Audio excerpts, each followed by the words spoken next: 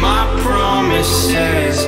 You know I'm too generous. Now I've learned to never help you out.